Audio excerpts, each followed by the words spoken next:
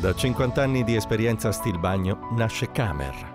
Pioraina, Grizco Mascioni, Sandro Massera, ma anche Emilio Quadrio e la moglie Teresina Tua. Una storia, una storia di persone nella casa, anzi per meglio dire nella bellissima Villa dei Libri. Il primo luglio 2022 la Biblioteca Raina di Sondrio compie 160 anni, ma in avvicinamento a questo compleanno tondo tondo i festeggiamenti stanno già per partire.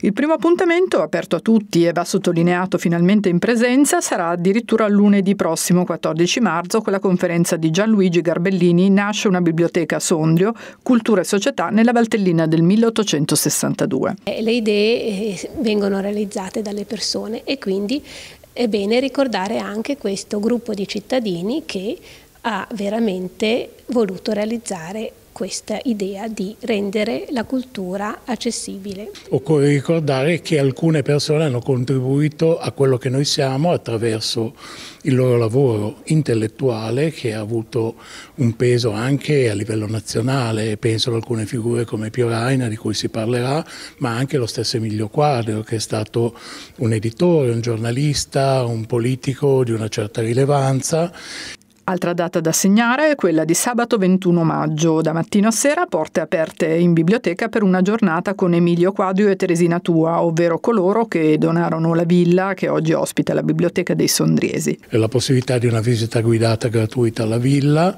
una conferenza sull'attività di Emilio Quadrio e un concerto appunto in ricordo di Teresina Tua. Abbiamo cercato di celebrare questa nostra biblioteca in tutti i modi, quindi da un punto di vista storico, da un punto di vista artistico, da un punto di vista musicale. Riteniamo che sia importante celebrare cittadini che hanno voluto creare uno spazio per la cultura, quindi che si sono messi a disposizione affinché nella nostra città la cultura fosse più accessibile.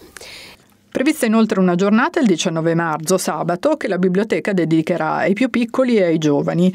Per i bambini dai 5 agli 8 anni previste letture con laboratori artistico-creativi con Raffaella Castagna, illustratrice e autrice dello splendido Gatti d'artista. Per i ragazzi invece in occasione del Dante di 2022 una conferenza online dal titolo Immagini dell'ira nell'inferno dantesco del professor Joël Vaucher Croix.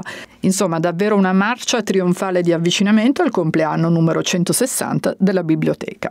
Inviterei tutti i cittadini, soprattutto quelli che non sono mai entrati in biblioteca, ricerca approfittare di queste occasioni, non solo delle conferenze, ma anche appunto delle attività collaterali che proporremo per eh, mettere i piedi, la testa, eh, il naso all'interno della biblioteca, anche solo per fare un giro, anche solo per apprezzare la bellezza della villa e anche magari farsi coinvolgere da qualche libro o anche da qualche documento multimediale.